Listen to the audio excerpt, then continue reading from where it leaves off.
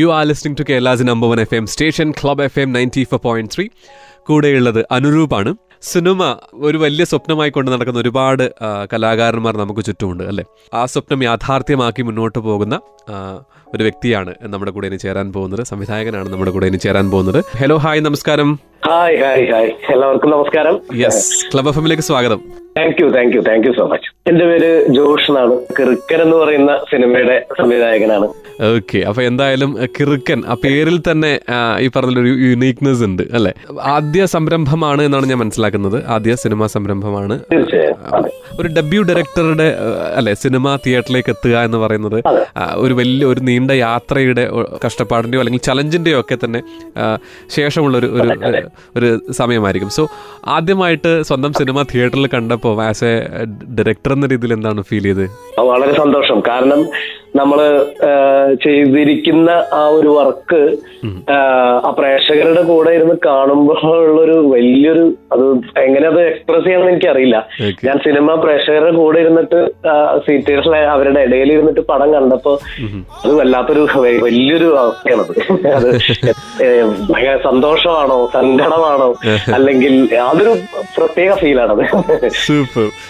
Josh എന്ന് പറയുന്ന സംവിധായകൻ അല്ല സ്ക്രീനിൽ എഴുതി പേരെഴുതി പേര് എഴുതി കാണിക്കുന്നത് വരെയുള്ള ഒരു യാത്രയുണ്ട്.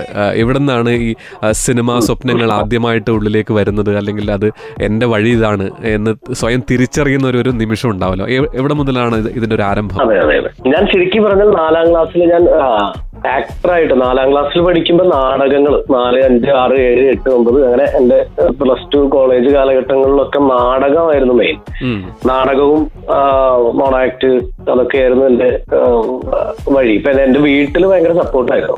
ചെറുപ്പം മുതലേ നാടകങ്ങളും കാര്യങ്ങളൊക്കെ വീട്ടിൽ വെച്ചിട്ടാണ് റിഹേഴ്സലൊക്കെ ഉണ്ടാവുക. അപ്പൊ എന്റെ സുഹൃത്തുക്കളൊക്കെ വീട്ടിൽ വരും. അപ്പൊ അമ്മയച്ഛനൊക്കെ ഭയങ്കര സപ്പോർട്ടായിരുന്നു.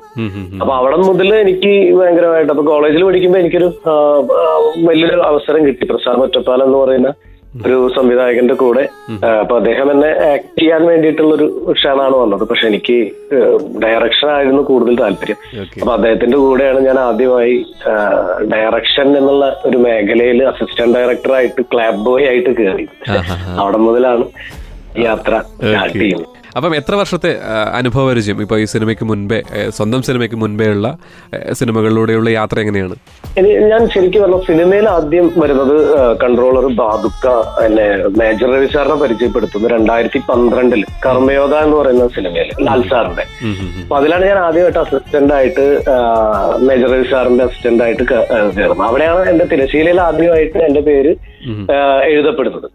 അപ്പൊ ആ രണ്ടായിരത്തി പന്ത്രണ്ട് മുതൽ പിന്നെ അങ്ങോട്ട് ഒരുപാട് ഡയറക്ടേഴ്സിന്റെ കൂടെ ജോൺ റോബിൻസൺ ജയറാം കൈലാസ് അങ്ങനെ തുടങ്ങിയ വലിയ ഡയറക്ടേഴ്സിന്റെ കൂടെ അസിസ്റ്റന്റ് ഡയറക്ടറായിട്ടും അസോസിയേറ്റ് ആയിട്ടൊക്കെ ജോലി വർക്ക് ചെയ്യാൻ സാധിച്ചു. അതാണ് എന്റെ ഏറ്റവും കൂടുതൽ എന്റെ എക്സ്പീരിയൻസ് സിനിമയിൽ രണ്ടായിരത്തി പന്ത്രണ്ട് മുതലാണ് ഞാൻ സജീവമായത്. ഓക്കെ. എന്തായാലും ഈ പറയുന്ന പോലെ നമുക്ക് വളരെയധികം ഇഷ്ടമുള്ള ആക്ടേഴ്സിനെ അണിനിരത്തിയിട്ടുള്ള ഒരു സിനിമ അല്ലെ? എസ്പെഷ്യലി ജോണി ആന്റണി സലീം കുമാർ അല്ലെ? കാര്യം എന്ന് വെച്ചാൽ വിജയരാഘവനെ പോലെയുള്ള ആക്ടേഴ്സ് ഒക്കെ തന്നെ. ഇത്തരം ഒരു സ്ക്രിപ്റ്റ് അല്ലെങ്കിൽ ഒരു സിനിമ എന്റെ സിനിമ ഞാൻ ഇവരോട് പിച്ച് ചെയ്യാൻ പോകുന്നു കഥ പറയാൻ പോകുന്നു എന്ന് പറയുമ്പോൾ എങ്ങനെയൊക്കെയാണ് ജോഷിനോട് ഇവരുടെ സിനിമയിലേക്ക് വരാം എന്ന് നമ്മളൊരു ഓക്കെ അടിക്കുന്ന ഒരു നിമിഷം ഉണ്ടാവുമല്ലോ. ഞാൻ ആദ്യം ഇതിന്റെ കഥ പറയുന്നത് ശരിക്കും കനിയുടെ അടുത്താണ്. അപ്പൊ കനി ആ, സമയത്ത് നമ്മുടെ ലോക്ക്ഡൌൺ കാലഘട്ടമായിരുന്നു. അപ്പൊ ആ സമയത്ത് കനിയുമായിട്ട് ഡിസ്കസ് ചെയ്തു പുള്ളിക്കാരിക്ക് ഞാൻ പി ഡി എഫ് അയച്ചു പുള്ളിക്കാരി വായിച്ചു. അതിനുശേഷം അപ്പൊ കനിയാണ് പറഞ്ഞത് നമുക്ക് കനിയാണ് ആദ്യമായിട്ട് ഈ സിനിമയിൽ കമ്മിറ്റ് കമ്മിറ്റ് ചെയ്തത്. ഓക്കെ അതിനുശേഷം എനിക്ക് ഏറ്റവും കൂടുതൽ കഥ പറയാൻ ടെൻഷൻ ഉണ്ടായിരുന്നത് വിജയരാഘവൻ ചേട്ടനാണ് കുട്ടേട്ടന്റെ അടുത്താണ്. കാരണം അദ്ദേഹം വളരെ സീനിയർ ആണ്. പിന്നെ ഒരുപാട് എന്താ പറയാ സ്ക്രിപ്റ്റ് സെൻസ് ഉള്ള ആളാണ്. പിന്നെ അത്ര എക്സ്പീരിയൻസ് ആണ് പുള്ളി. അപ്പൊ നമ്മുടെ ഉള്ളിലേക്കൊക്കെ വരുന്നത് ഭയങ്കര പേടിയാണ്. കാരണം അവരോടൊക്കെ എന്ത് നമ്മൾ പറയും ആ കഥയിൽ ആ കഥ ഏത് രീതിയിൽ അവർ എടുക്കും. അത് ഭയങ്കര ടെൻഷനായിരുന്നു അദ്ദേഹത്തിനോട് കഥ പറഞ്ഞു എന്നോട് ഒന്നര രണ്ട് മണിക്കൂറോളം ഫോണിൽ തന്നെ ഞങ്ങൾ ഈ സ്ക്രിപ്റ്റ് അതിന്റെ പുള്ളിയുടെ സംശയങ്ങളും അതിന്റെ മേക്കിങ്ങിനെ കുറിച്ചും ഒക്കെ സംസാരിച്ചു. അപ്പൊ അദ്ദേഹം എനിക്ക് ഇതുപോലെ ഭയങ്കര ടെൻഷനായിരുന്നു പുള്ളിയോട് കഥ പറയും ഡയറക്ടർ എന്ന രീതിയിൽ കൂടെ കട്ടക്ക് നിന്നിട്ടുള്ള ബിഹൈൻഡ് ദ ക്യാമറ ഉണ്ടല്ലോ അല്ലെ?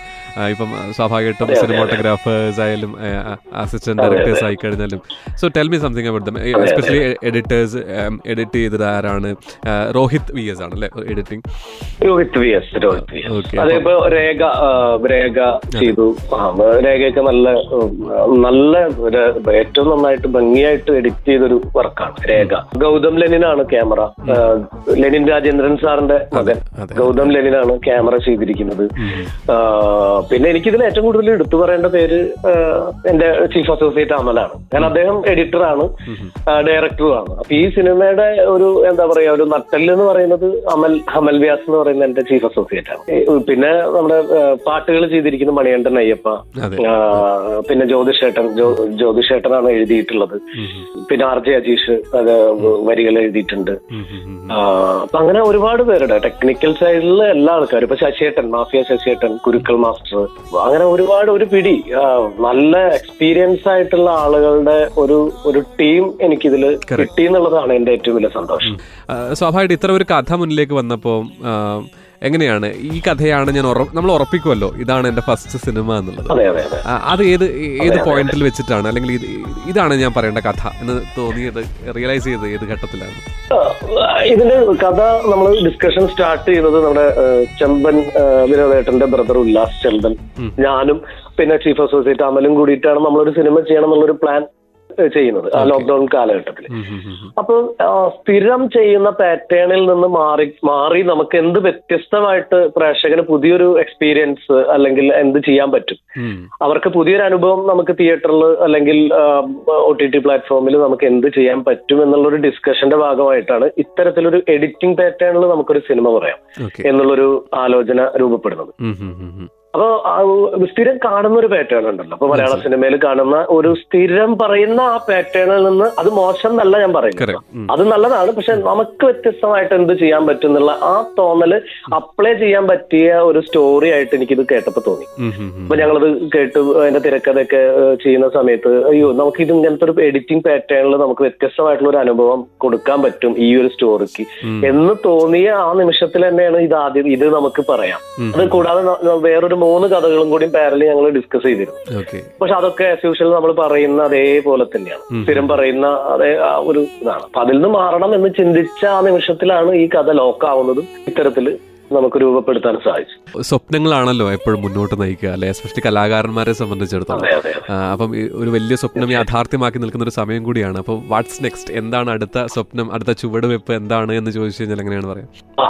അടുത്ത ചുവടുവെപ്പ് തീർച്ചയായിട്ടും നല്ല അടുത്തൊരു നല്ല സിനിമ എന്നുള്ളത് തന്നെയാണ്. അതിന്റെ ആരംഭ ചർച്ചകളൊക്കെ തുടങ്ങിയോ എന്ന അർത്ഥത്തിലാണ് ഞാൻ ചോദിച്ചത്. അത് സ്ക്രിപ്റ്റിംഗ് ഇപ്പൊ ഫൈനൽ സ്റ്റേജിൽ സ്ക്രിപ്റ്റിംഗ് ഇരിക്കുന്നു അപ്പൊ ബാക്കി കാര്യങ്ങൾ അപ്പൊ ഈ ഒരു മഴക്കാലം കഴിഞ്ഞു കഴിഞ്ഞാൽ നമുക്ക് അതിന്റെ അടുത്ത അനൗൺസ് അനൗൺസ് ചെയ്യാം. അടുത്ത കാര്യങ്ങളിലേക്ക് പോവാം. അപ്പൊ ആർട്ടിസ്റ്റുകളുമായിട്ട് കഥകൾ പറഞ്ഞുകൊണ്ടിരിക്കുന്നു. ആ, ഒരു പ്രോസസ്സിലാണ് ഇപ്പൊ സിനിമ നടക്കുന്നത്. സൂപ്പർ. അപ്പൊ ഈ പറയുന്ന പോലെ ഓരോ ചുവടുവെപ്പും വലിയ വലിയ സ്വപ്നങ്ങൾ കീഴടക്കുവാനുള്ള ഒരു യാത്രയായിട്ട് മാറട്ടെ എന്ന് ആത്മാർത്ഥമായിട്ട് ആശം- ആശംസിക്കുന്നു. ഒപ്പം തന്നെ മുന്നോട്ടുള്ള യാത്രയ്ക്ക് എല്ലാവിധ ഭാവങ്ങളും നേരുന്നു. നമ്മുടെ കൂടെ ഇത്ര നേരം സംസാരിച്ചത് വലിയ സന്തോഷം. Thank you so much thank you so much തീർച്ചയായിട്ടും തീർച്ചയായിട്ടും.